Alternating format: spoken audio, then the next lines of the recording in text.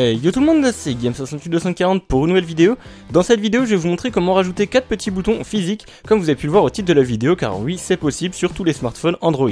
Donc ça se présente comme ceci, vous voyez sur mon téléphone, juste à l'arrière, j'ai pu coller du coup 4 petits boutons qui se rajoutent et je vais pouvoir les programmer pour leur définir des actions. Par exemple, ouvrir ma caméra, appeler un numéro, lancer une application ou modifier certains paramètres du téléphone très simplement.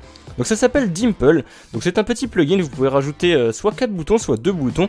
Tous les liens seront en description si jamais vous êtes intéressé par le produit. Je ne suis absolument pas sponsorisé ni payé pour faire cette vidéo pour ceux que ça intéresse, c'est moi-même qui ai contacté l'entreprise pour leur demander un échantillon pour pouvoir vous faire une vidéo car c'est vraiment pas connu du tout. Et je vais vous montrer tout de suite comment ça marche. Donc par exemple, si je reste appuyé sur le bouton du bas, donc à savoir le bouton juste ici, vous voyez que ma lumière s'allume. Je reste appuyé de nouveau dessus, elle s'éteint. Je reste appuyé sur le bouton juste au-dessus, donc hop, juste le trouver, c'est le bon bouton, voilà. Ça m'ouvre la caméra. Je peux ensuite quitter la caméra. Je vais ensuite appuyer par exemple sur le troisième bouton que j'ai aussi programmé. Et ça va appeler un numéro. Vous voyez que je peux vraiment programmer le numéro que ça appelle. Donc voilà, et ensuite bah, le quatrième bouton, je ne l'ai pas encore programmé, je vais vous montrer comment on va du coup programmer ce quatrième bouton. Donc euh, l'application euh, est gratuite évidemment, puisqu'on paye déjà le produit, il n'est pas vraiment très cher, vous pouvez l'avoir en plusieurs coloris, il y en a 3 ou 4. Bien sûr, le lien sera en description pour jamais, euh, enfin pour ceux que ça intéresse, si jamais vous voulez vous en procurer un. Ça fonctionne sur tous les appareils, il faut juste qu'il y ait le NFC. Il ne faut pas juste que votre appareil soit totalement en métal, donc c'est vraiment rare. Il y a certains HTC et euh, je ne sais plus quelle marque qui, ne sont pas compatibles avec les boutons. C'est bien sûr précisé sur le site du vendeur, donc vous pouvez aller voir la liste. Il n'y en a que deux ou trois. Si vous avez un Samsung, un Sony, etc., ça fonctionnera parfaitement bien. Et voilà, il ne faut pas le route également pour ceux que ça intéresse. Et donc euh, voilà, c'est à peu près tout ce qu'il faut savoir. Lorsqu'on le déballe, il y a une petite fixation 3M à l'arrière qui est autocollante. On peut du coup le coller sur notre téléphone même si on a une coque. Donc moi pour ma part j'ai une coque et je l'ai collé, ça fonctionne très très bien. Et ensuite il faudra simplement activer notre NFC. Donc vous allez déplier les paramètres. Donc hop, et cocher NFC juste ici. Et une fois que c'est bon, vous allez simplement déplacer votre bouton derrière et juste le poser et ne pas le coller tout de suite et rester appuyé sur un des boutons. Si ça vous redirige vers le Play Store, vers la page de téléchargement de l'application, c'est nickel. Vous pouvez du coup coller les boutons à cet emplacement. Si jamais ça ne fait rien, c'est que le NFC ne détecte pas vos boutons. Il faut donc essayer de les poser à un autre emplacement. Une fois que ça a été bon, vous allez simplement bah, du coup télécharger l'application qui est indispensable au fonctionnement des boutons et la lancer. Donc pour la lancer, soit vous cliquez sur l'icône, soit vous restez appuyé sur un des boutons qui n'est pas programmé. Donc là, on va pouvoir éditer les boutons. Donc moi, pour ma part, je vais éditer du coup le euh, dernier... Enfin non, je vais carrément effacer le premier bouton pour vous montrer un petit peu comment ça fonctionne. Donc le premier bouton, c'est la lumière flash. Donc maintenant, je vais rester cliquer sur le bouton, donc comme ceci. Hop, l'écran va vibrer, enfin le téléphone va vibrer. Une fois qu'on est redirigé vers l'application, tout ce qu'on va faire maintenant, vous voyez qu'il y a écrit flashlight, admettons, je veux le dégager, je swipe vers la droite et voilà.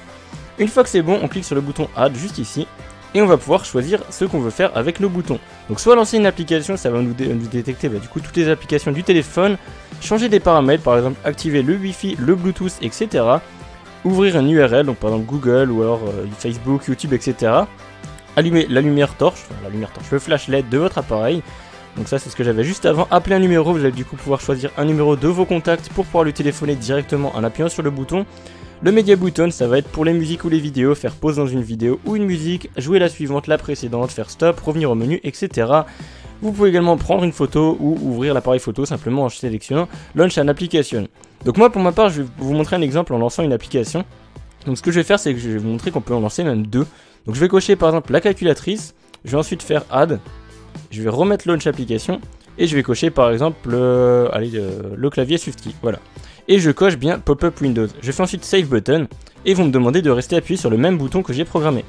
Donc je fais dessus, il y a écrit Success, je fais Done, je retourne sur le menu principal et je reste maintenant appuyé sur le bouton. Maintenant ça m'ouvre un pop-up et vous voyez que j'ai le choix entre les deux applications que j'ai programmées.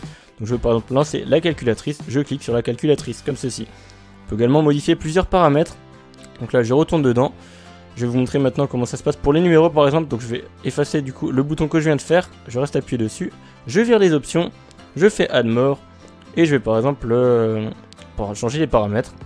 Donc je vais mettre euh, Wi-Fi turn on, donc save, hop, save button. Je reste de nouveau appuyé sur le bouton. Je fais done, hop. Vous voyez en haut que mon Wi-Fi est désactivé, je reste appuyé sur le bouton.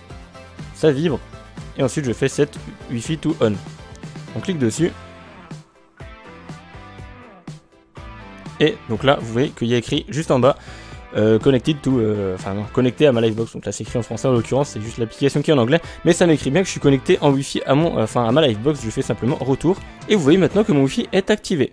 Par contre, si je reste appuyé dessus, normalement ça ne va pas me l'enlever. Donc voilà, ça me met juste sur on. Je vais faire retour. Admettons maintenant je vais mettre l'autre bouton pour faire off. Donc je vais prendre du coup le bouton juste au-dessus. Je clique dessus. Je vais virer l'appareil photo. Je fais add, change setting, Wi-Fi, turn off. Ou alors on peut mettre toggle pour faire les deux si jamais on a envie. On fait done, save button, on reclique dessus. Success, hop. Donc là, mon Wi-Fi est activé. Je reste appuyé sur le bouton du dessus. Vous voyez que immédiatement le Wi-Fi a été désactivé. Je reclique dessus, hop. On peut aller voir en haut. Donc là, ça ne s'active pas tout seul, il faut simplement cliquer dessus. Donc il ne se passe rien, mais on attend simplement. Et ça va nous connecter directement. Vous voyez que là, je suis connecté. Je peux faire retour. Je clique sur le bouton du dessus. Bam, la Wi-Fi est déconnectée. Vous voyez que je ne suis plus connecté. Et voilà, donc c'est à peu près la même chose pour toutes les applications, toutes les possibilités de ces boutons. Vous pouvez vraiment faire ce que vous voulez. Sachez que ça ne fonctionne pas l'écran verrouillé. Il me semble que si jamais vous voulez les faire fonctionner quand l'écran est verrouillé, il faut le root. J'ai lu ça sur le site. Vous pouvez également, euh, si jamais vous êtes créateur d'applications, utiliser ces boutons dans vos applications. Il y a le code source qui sera rendu disponible sur le site ou lors depuis l'application, mais j'ai lu quelque part que vous avez le code source. Donc voilà, c'est tout pour cette vidéo. Je vous dis merci d'avoir regardé. J'espère que ce tutoriel vous aura plu et cette petite présentation également. Vous pouvez également me suivre sur les réseaux sociaux, Facebook, Twitter ou mon site internet, vous abonner à ma chaîne YouTube si ce n'est pas déjà fait, et moi je vous dis à plus pour de nouvelles vidéos. Ciao